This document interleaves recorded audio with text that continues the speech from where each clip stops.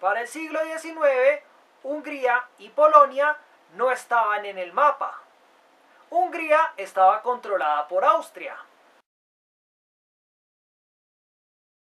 Y Polonia había sido dividida entre Rusia, Prusia y Austria. Por esta razón hubo varios levantamientos tanto en Hungría como en Polonia. En 1830 ocurre en Polonia un levantamiento que sería conocido como el levantamiento de noviembre. Al ser derrotada, los insurgentes polacos encontrarían refugio en Hungría. Durante la Revolución húngara de 1848, muchos militares polacos pelearon del lado húngaro. Uno de los más notables fue el general polaco Józef Bem. Él ya había participado en el levantamiento de noviembre en Polonia, razón por la cual es un héroe nacional en ambos países. Poca gente habla de esto, pero dos de los músicos más grandes de la humanidad eran Franz Liszt, húngaro, y Frédéric Chopin, polaco.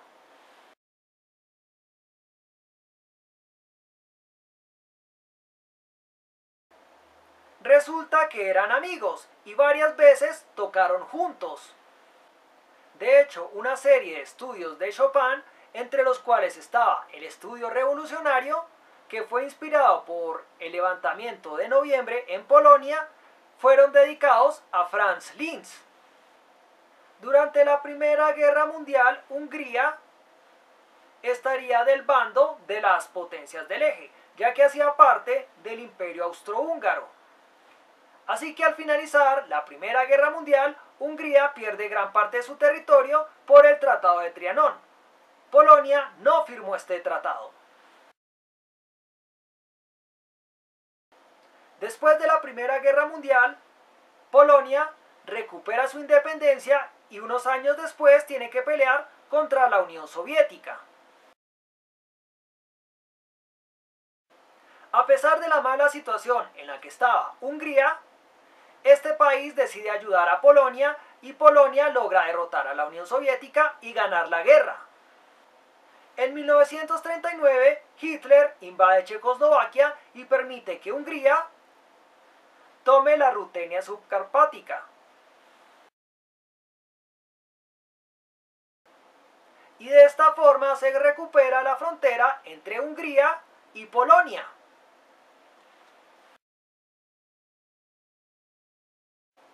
Tiempo después, Hitler invadiría Polonia. Durante la Segunda Guerra Mundial, Hungría estaría del lado de las potencias del eje, junto a Alemania. Razón por la cual Hitler le pide a Hungría que le permitan atacar a Polonia por el sur, por la recientemente creada frontera entre Hungría y Polonia. El primer ministro húngaro Pablo Teleki se negó. Diciendo que Hungría nunca participaría en una acción militar contra Polonia por razones morales. Y además que prefería volar sus líneas ferroviarias a participar en una invasión a Polonia. A pesar de que ambos países estaban en bandos opuestos, las muestras de amistad no pararon. Se dice que varios soldados húngaros ayudaron a escapar a varios refugiados políticos y militares a través de la recién creada frontera húngaro-polaca. Más de 100.000 polacos encontraron refugio en Hungría. Y a través de Hungría, otros polacos huirían a Francia. Desde allí continuarían sus operaciones militares. En 1944 durante la Segunda Guerra Mundial ocurre el levantamiento de Varsovia en Polonia. Un intento del gobierno polaco en el exilio de liberar a Polonia de Alemania. En este movimiento varios húngaros pelearían al lado de los polacos.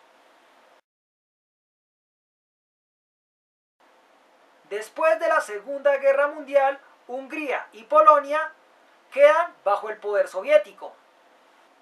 En el año 1956 ocurre el Octubre Polaco, debido a la muerte de Stalin y Boleslav Bierut, el líder comunista polaco. La parte reformista del Estado, encabezada por Vladislav Gomulka, toma el poder. Y se logra que Polonia tenga más autonomía de la Unión Soviética. Los húngaros, inspirados por los hechos acontecidos en Polonia, buscaban unas reformas similares para su país. Es así como ocurre la Revolución Húngara de 1956. Varios polacos donaron sangre y enviaron ayuda por aire y tierra. Además era muy frecuente que en las calles de Polonia se pusieran latas para que la gente hiciera donaciones a Hungría. Esta iniciativa fue llevada a cabo por la población y no por el gobierno. Durante el periodo comunista, muchos polacos visitaban Hungría debido a que este país tenía una infraestructura turística muy buena. Por esta razón, varios polacos guardan un buen recuerdo de Hungría. En el año 2007, el Parlamento húngaro declara el día 23 de marzo como el Día de la Amistad húngaro-polaca. Cuatro días después, el Parlamento polaco haría lo mismo. Los polacos y los húngaros son hermanos, buenos para el sable y para la fiesta. Ambos son valientes, ambos son animados, que sobre ellos caigan las bendiciones. Esta es más o menos la traducción de un dicho popular que hay en Polonia y Hungría sobre la amistad entre estos dos países. Este dicho tiene versión en ambos idiomas, en polaco y húngaro.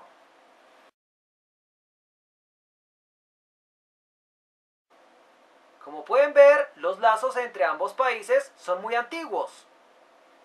Aunque estos dos países a simple vista parezcan muy diferentes, la historia se ha encargado de unirlos, debido a intereses y a enemigos en común. Como pudimos ver, ambos países han desarrollado una amistad tan fuerte que, aunque algunas veces han estado en bandos contrarios, la amistad no se ha roto. Esto lo pudimos ver con lo que pasó en la Segunda Guerra Mundial. Soldados húngaros apoyaron a la población polaca. Bueno, eso es todo lo que quería mostrarles por hoy. Gracias por ver el video y hasta luego.